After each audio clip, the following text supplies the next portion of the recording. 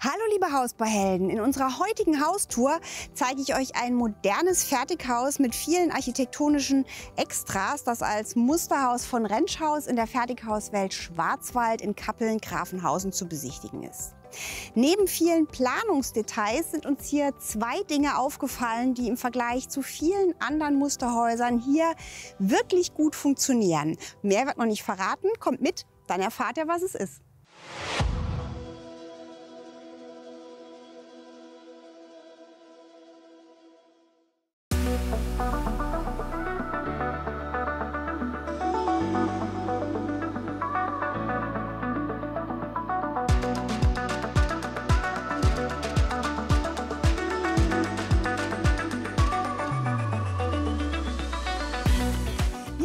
Klassischen Satteldachbaukörper mit Außenmaßen von 11,26 Meter mal 9,14 Meter. Der Kniestock ist 2,25 Meter hoch, 25 Grad geneigtes Satteldach, insgesamt 172 Quadratmeter Wohnfläche.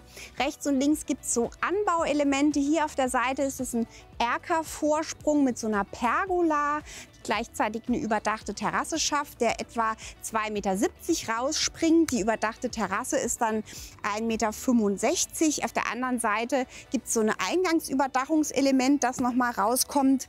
Und wir sehen schon, es ist eine ganz klassische Farbgestaltung in Weiß und Anthrazitgrau. Das ist der RAL-Farbton 7016. Und was man hier sieht, es sind wirklich alle Außenelemente inklusive der Spenglerarbeiten, der Fenster, der Dachuntersichten in diesem RAL-Farbton Farbton 7016 gestrichen. Die Dachüberstände sind umlaufend 60 cm, standardmäßig auch mit so einer Nut- und Federverschalung unten drunter, die eben auch grau gestrichen ist mit den Sparren- und Fettenköpfen, die da sichtbar sind. Hier vorne sieht man im Giebelbereich diesen Flugsparren. Das ist ein Sparren, der quasi außerhalb des Hauses hier nochmal vorgelagert ist. Und vielleicht auch ganz interessant, weil wir es nicht so oft sehen, wir haben da oben diese drei kleinen Punkte mit den Entlüftungsgittern. Das ist tatsächlich eine Entlüftung für diese Dachspitze, denn wir haben hier keine gedämmte Dachschräge, sondern die Zwischendecke innen drin ist gedämmt. Und dadurch hat man oben einen Dachraum, der natürlich relativ hohe Temperaturschwankungen hat und diese Entlüftung stellt eben sicher, dass da überhaupt nichts passieren kann.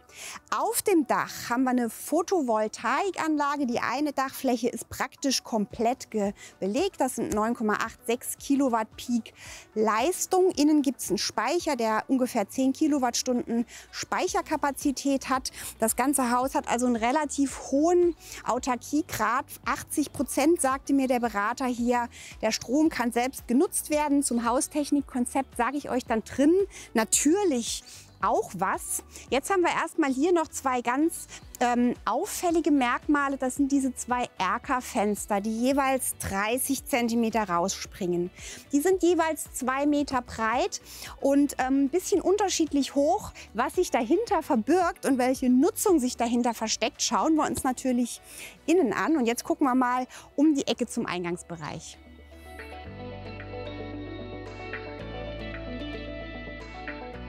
Bevor wir reingehen, sage ich euch noch kurz was zum Wandaufbau. Der ist nämlich auch ein bisschen anders. Es ist natürlich eine Holzverbundskonstruktion. Wir haben hier einen 33 cm starken Wandaufbau mit einer Zellulosedämmung und ähm, insgesamt Diffusions- offen aufgebaut. Also außen so ein Wärmedämmverbundsystem auf Holzfaserbasis.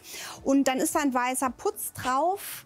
Wir haben da oben teilweise zwischen den Fenstern, könnt ihr es sehen, noch so äh, Platten, dekorative Platten in Holzoptik. Das ist so ein High-Pressure-Laminat, so ein HPL-Platte. Ähm, ich würde sagen, es ist Walnussoptik. Ich weiß es nicht ganz genau. Und das fasst nochmal die Fensterflächen zusammen. Wir haben auch schon gesehen, es gibt keine Dachflächenfenster und eine sehr, sehr sehr großen Wert liegt der Hersteller darauf, dass diese Dämmhülle und rum wirklich geschlossen und dicht ist. Und wir werden das gleich merken, wenn wir reinkommen am Raumklima.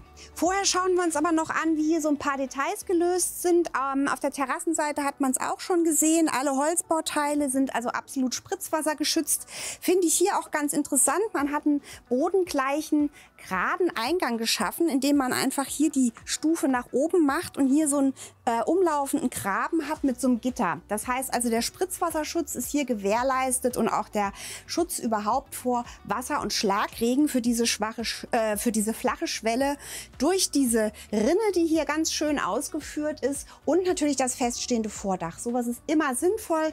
Das ist jetzt hier ein ähm, Erkervorbau. Dahinter ist der Technikraum, der nochmal einen Meter rausspringt. Klar, solche Anbauelemente kosten Geld, aber an der Stelle ist es was, was wirklich sinnvoll ist und was bringt. Wir können auch hier sehen, ähm, gerade diese Granitfensterbank, auch das ist bei dem Hersteller schon im Standard so drin. Und die zweifarbig folierten Fenster schauen wir auch nochmal von innen an. Wie gesagt, außen alles Anthrazit, innen weiß. Und jetzt schauen wir mal, wie es da drin aussieht.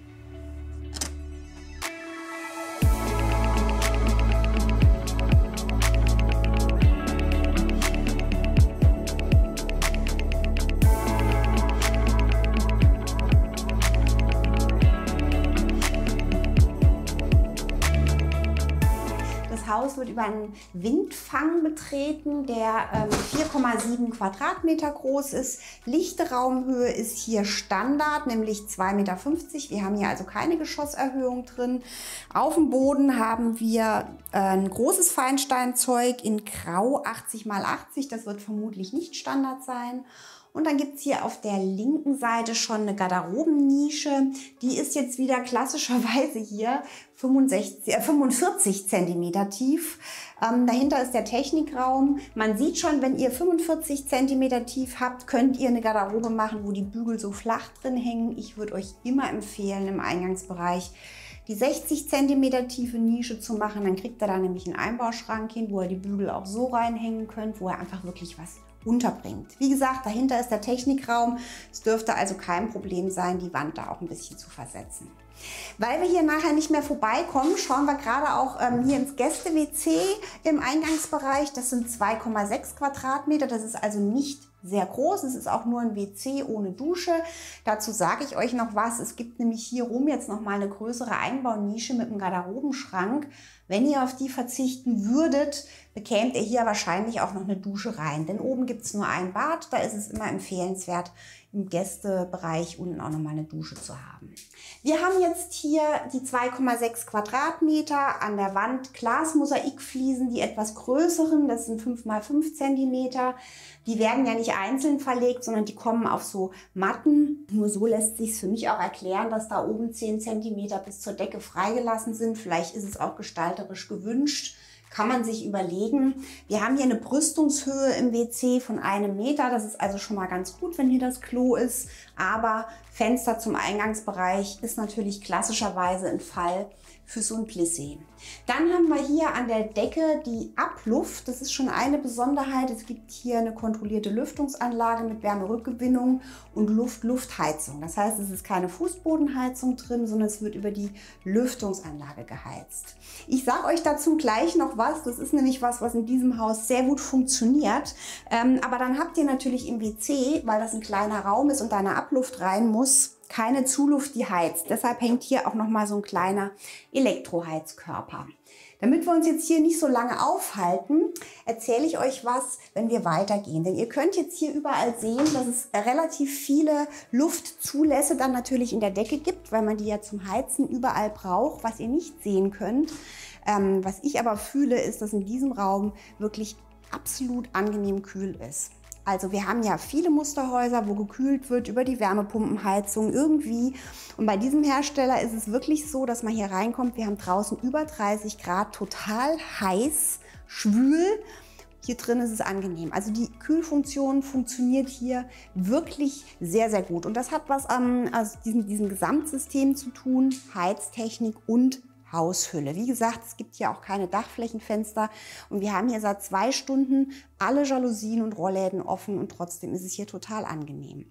Der nächste Punkt, der hier gut funktioniert, das zeige ich euch gleich mal, ist nämlich das Smart Home System, das hier auch mit Sprachsteuerung ist. Wir versuchen das jetzt gleich mal. In den meisten Musterhäusern funktioniert es nämlich nicht. Hey Siri, fahr die Jalousie im Wohnzimmer runter. Es funktioniert.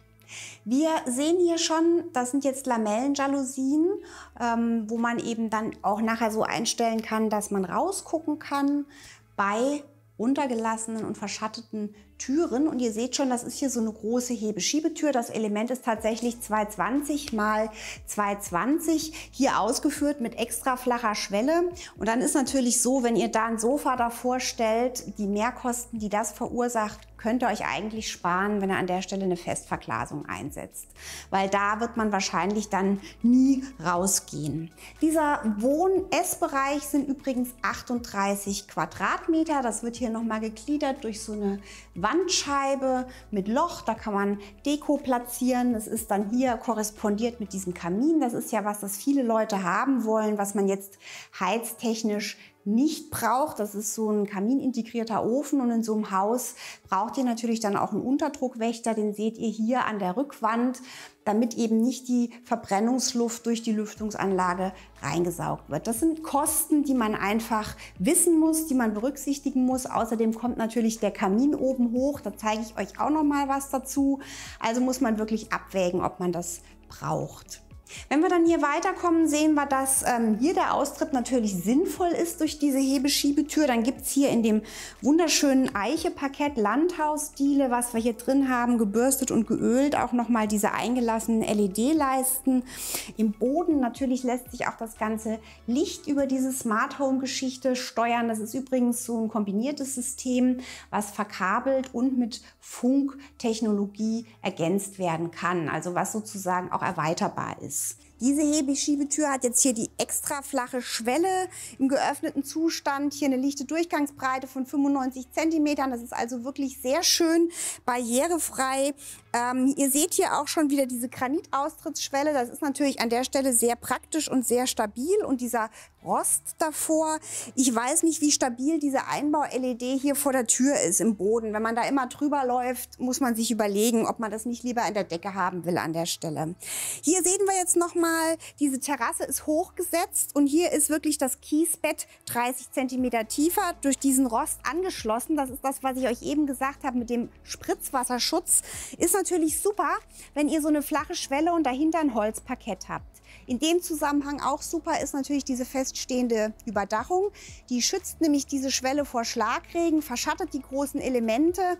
Hier ist es jetzt so, dass diese Pergola 1,65 lichte nutzbare Breite hat. Man sieht schon, da kann man jetzt den Tisch nicht komplett drunter stellen. Da hat man hier auch noch diesen Pfosten, also kann man sich überlegen, wenn man das jetzt besser nutzen will als überdachte Terrasse, das hier auch insgesamt noch ein bisschen weiter rauszuziehen. Aber insgesamt auf jeden Fall schon mal gute Lösung für diese Glasfassaden.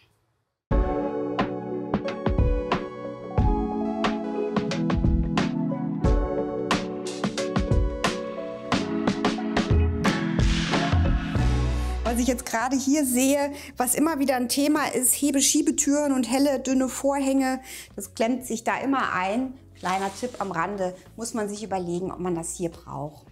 Was man sich auch überlegen muss, ob man es braucht, weil es einfach auch ein Kostenfaktor ist, ist dieses Sitzfenster. Das ist jetzt der größere von den beiden Erkerfenstern, die nach vorne rausspringen. Hier sind es jetzt 2 Meter mal 1,65 mit einer Festverglasung. Springt außen 30 Zentimeter raus, ist dann hier innen etwa 40 Zentimeter Sitztiefe. Sehr schön ist natürlich, dass man hier die integrierte Beleuchtung hat. Wenn man hier abends sitzt, kann man da eben auch lesen. Und wir sehen jetzt hier ähm, die Fensterbänke, die Innenfensterbänke sind hier, wo sie ähm, stattfinden, in diesem hellen Aklomarmor gemacht. Das ist so ein Kunstmarmor, der zu 80, 90 Prozent aus echtem Natursteinmehl besteht. Der ist äh, sehr angenehm kühl und natürlich absolut robust. Ob man da so gerne drauf sitzt, weiß ich jetzt nicht, aber man kann ja Decken und Kissen drauflegen. Und was ich auch sehr schön finde im Musterhaus, ist, dass hier mal wirklich Platz ist für einen riesengroßen Esstisch, wo man auch Gäste und eine große Familie unterbringt. Das sind jetzt wirklich drei Meter mal ein Meter und man hat es dann hier auch ganz kurz direkt in die offene Küche, die hier über Eck anschließt. Bisschen markiert wird dieser Übergang durch diesen sichtbaren Unterzug bzw. den verkleideten Unterzug. Das finde ich an der Stelle wirklich ein schönes Gliederungselement. Die Küche dahinter hat etwa 12,5 Quadratmeter und wo wir gerade hier beim Thema verkleidet sind, Ähm, hier im Musterhaus sieht man eigentlich fast überall so, ist dann die Wand äh, Q3 gespachtelt, geschliffen und ähm, mit Malerflies belegt, der dann gestrichen ist. Im Standard ist normalerweise Q2 gespachtelt. Das müsst ihr einfach wissen, dass das auch nochmal ein Aufpreis ist, wenn ihr das so haben wollt. Aber jetzt schauen wir uns erstmal die Küche an.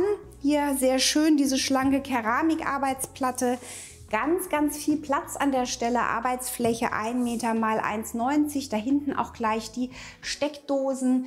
Ihr seht jetzt hier die Zuluft auch an der Stelle. Ich habe euch ja gesagt, die Heizung bzw. die kühle Luft kommt hier über die Lüftungsanlage funktioniert wirklich sehr, sehr gut. Und da ja der Strom auch vom Dach kommt, der Photovoltaikstrom, und im Sommer, wenn der Kühlbedarf da ist, auch viel Strom vom Dach da ist, ist das auch ökologisch überhaupt kein Thema. Die Küche ist jetzt hier sehr schön angelegt von der Arbeitsfläche, finde ich. Hier haben wir jetzt diesen zweiten Erker, der da rausgeht. Das ist hier so eine Art ja, Kräuterfenster soll es sein. Auch 40 cm tief, 2 Meter mal 1,20 kann man machen, muss man aber nicht. Ähm, ist natürlich schön, weil man sich hier wirklich Kräuter ziehen kann. Man hat ja jetzt hier in der Küche keine Tür nach draußen in den Kräutergarten. Also ist das natürlich wirklich schön. Arbeitshöhe sind hier 92 cm. Dann hat man jetzt hier nochmal diese 7 cm bis zur Fensterbank Vielleicht wäre das auch möglich planerisch, dass man das hier gleich in einer Ebene durchzieht. Das wäre sicherlich auch eine Überlegung, was vielleicht auch noch ganz schön wäre. Hier hat man jetzt das Licht auch klassischerweise an der Stelle und hier nochmal in diesem Kräuterfenster. Ihr braucht natürlich auch ein richtiges Licht hier an der Arbeitsfläche. Ich nehme mal an, die sind sehr schön, diese Filamentleuchten, dass die eher dekorative Zwecke haben. Wir schauen jetzt noch einmal hier rum Klassischerweise hier dann die Abwicklung mit dem Herd. Da kann man auch ganz guten Abzug nach oben haben. Braucht man jetzt nicht diesen aufwendigen Abzug nach unten, weil das eben hier an der Wand ist. Ihr seht dann, das ist jetzt hier die Abluft. Die sieht ein bisschen anders aus als die Zuluftöffnung, denn in Küche und Feuchträumen, also wo Wasserdampf entsteht, wird abgesaugt. Dann gibt es hier nochmal so ein kleines Fensterelement. Das sind, glaube ich, 73 Zentimeter. Und was ihr da oben sehen könnt, ist, ähm, ist ein Fensterkontakt da. Äh, diese Fensterkontakte sind auch Teil des Sicherheitskonzeptes. Auch das kann ins Smart Home System eingebunden werden, dass ihr also immer gewarnt werdet, wenn ihr geht und irgendwo noch ein Fenster offen ist. Noch ein Wort zu dem Thema Eicheparkett gebürstet und geölt in der Küche auf dem Boden. Wir sehen es oben sogar in den Bädern. Machen jetzt wirklich ganz viele. Dem Holzboden macht das nichts. Ihr dürft halt nicht empfindlich sein, was Wasserflecken angeht. Man kann das machen. Ich kenne viele Leute, die sich da mit der Zeit dann einen Kork draufgelegt haben. Aber wie gesagt, sehr schön sieht es natürlich aus. Wir sind jetzt hier in dem Flur. Das sind nochmal etwa vier Quadratmeter Breite, ist hier 1,45 Meter. Man könnte hier also tatsächlich auch noch was stellen. Das ist dieser Schrank, wo ich euch eben gesagt habe, das ist jetzt hier nochmal ein Garderobenschrank. Und das ist eben auch diese Nische. Wenn man die jetzt noch dem Gästebad, dem Gäste-WC zuschlagen würde, bekäme man da noch vielleicht eine Dusche rein. Aber dann müsstet ihr eben die Wandnische im Windfang so tief machen, dass ihr da einen Garderobenschrank reinbekommt. Wenn wir jetzt jetzt hier weitergehen, kommen wir noch mal vorbei an diesem Touchpanel für die ganze Smart Home Steuerung. Ihr könnt schon sehen, da ist wirklich jetzt das Maximalpaket verbaut. Da ist die ganze Heizungstechnik, das Raumklima steuerbar, alle Lichtquellen, das Sicherheitspaket, da ist eingebunden, die Kamera an der Tür, die Rauchmelder, die Fensterkontakte. Es gibt hier auch eine Multiroom-Musikanlage und was ihr auch schon sehen könnt, es gibt solche praktischen Funktionen, alle Jalousien öffnen oder schließen, zu Hause verlassen. Dann wird geguckt, ob alles zu ist, ob überall das Wasser aus ist. Die Lichter gehen aus, die Jalousien gehen runter, sodass das also wirklich sehr komfortabel und auch sehr selbsterklärend ist. Wir sind dann hier schon in einem kleinen zusätzlichen Flur. Das sind nochmal etwa 3,7 Quadratmeter, der jetzt diesen hinteren Bereich und die Erschließung beherbergt. Durch die Lage des Treppenhauses hier in der Giebelseite haben wir natürlich hier diesen großen offenen Raum gehabt. Hier ist jetzt noch mal Platz für ein kleines Gäste- oder Arbeitszimmer und hier ist der Haustechnikraum. Auch da gucken wir kurz rein. Das sind etwa 11 Quadratmeter. Ich habe euch ja gesagt, der ist groß genug, dass ihr die Wandnische im Eingangsbereich auch tiefer machen könntet. Das schadet an der Stelle nichts.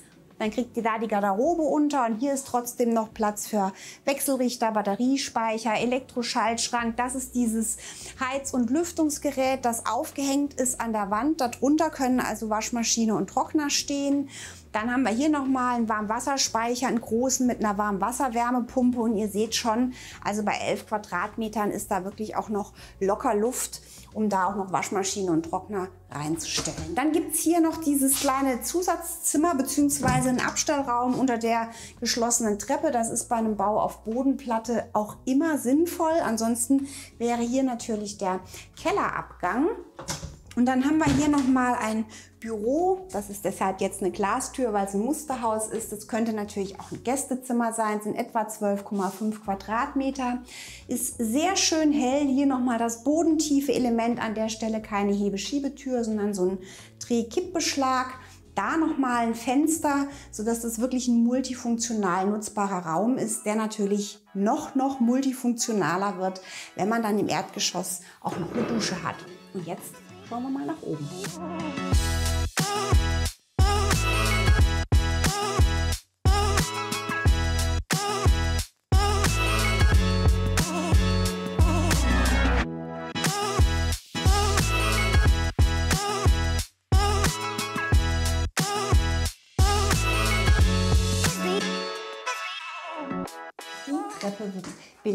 Hier durch zwei quadratische Fenster. Die sind etwa 73 mal 73.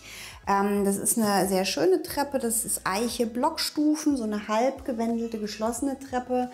Ähm, bei diesen platzsparenden Treppen, das ist die platzsparendste Form, die es gibt, müsst ihr immer wissen, wenn ihr da jetzt mal runtergetragen werden muss vom Sanitäter oder ein Kind runtertragen müsst, ist es immer angenehmer, eine gerade Treppe mit Zwischenpodest zu haben. Die würde ein bisschen mehr Platz brauchen, lohnt sich aber da aus Sicherheitsgründen drüber nachzudenken.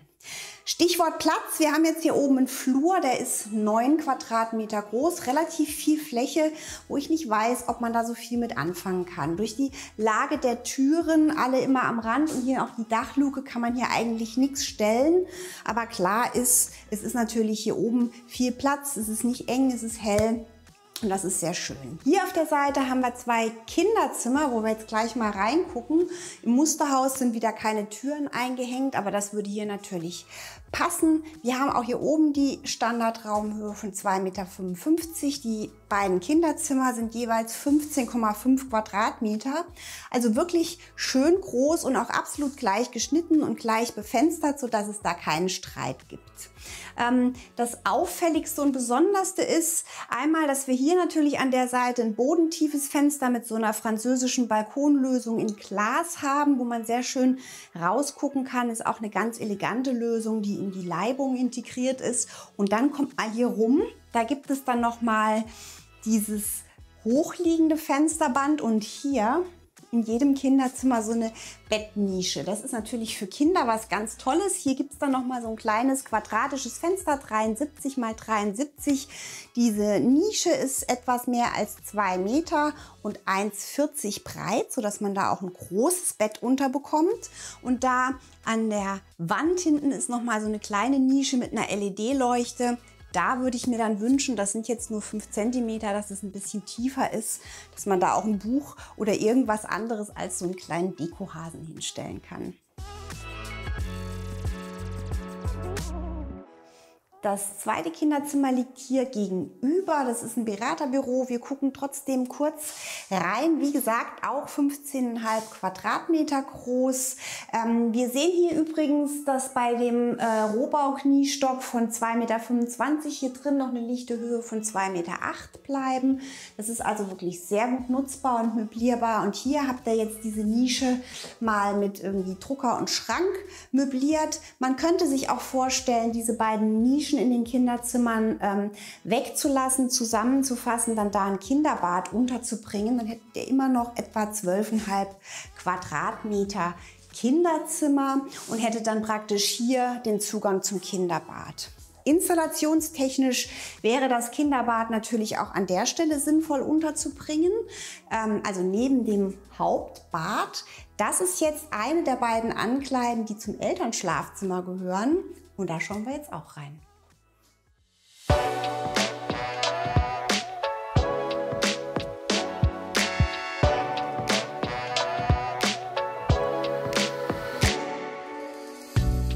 Elternbereich ist insgesamt 24 Quadratmeter groß und mit zwei Ankleiden ausgestattet. In der ersten stehen wir jetzt hier drin. Das ist die, wo man vom Flur reinkommt, wo ich euch eben gesagt hätte, wäre installationstechnisch praktischerweise auch der Raum fürs Kinderbad. Wir haben hier 6,7 Quadratmeter.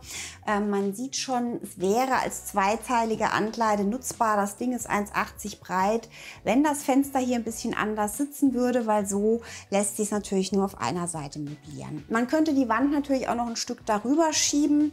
Das wäre auch möglich, denn hier in diesem Schlafbereich hat man jetzt 12,5 Quadratmeter, wo man ja dann außer dem Bett eigentlich auch nichts stellen muss. Es ist natürlich sehr schön, dass das hier luftig ist. Auch hier haben wir noch mal so ein kleines Fenster, dieses quadratische Maß 73 mal 73. Auf den anderen Seiten jeweils wie üblich dieses bodentiefe Element mit dem französischen Balkon. Und dann haben wir hier noch mal eine Wand da ist jetzt ähm, von der Lüftungsanlage die Zuluft drin. Das ist im Obergeschoss in den Wänden.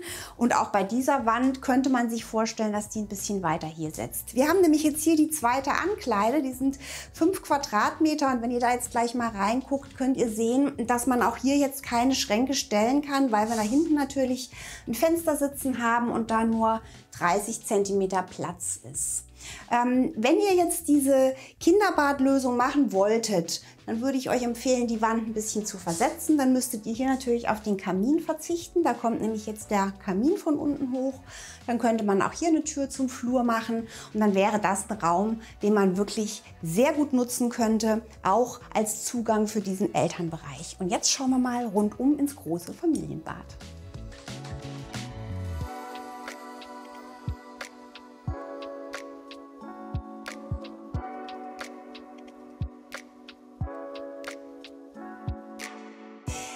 Familienbad hat 14,5 Quadratmeter, ist also wirklich der große oder der größte Raum hier oben. Ähm, auch hier seht ihr, ist jetzt das Eicheparkett durchgezogen. Das ist natürlich total schön warm und wohnlich. Es wird wohl auch laut Haushersteller von vielen Kunden gemacht. Ist ein totaler Trend. Ähm, klar, da muss man natürlich Wasserflecken sofort wegwischen. Wir haben hier eine sehr große Dusche. Ich finde auch diese Fliesen sehr schön. Format ist 10 x 20 cm. Hier haben wir eine Dusche, die wirklich breit ist, 96 x 1,40 sehr schön mit der hinterleuchteten Wandnische und wenn ihr natürlich Parkett auf dem Boden habt, auch sinnvollerweise mit so einer Duschtasse, die etwas tiefer ist. Ich habe euch das schon mal gesagt, ähm, wenn da mal Wasser rückstaut so ein bisschen, läuft euch das nicht hier vorne raus. Das ist bei Parkett natürlich besonders wichtig.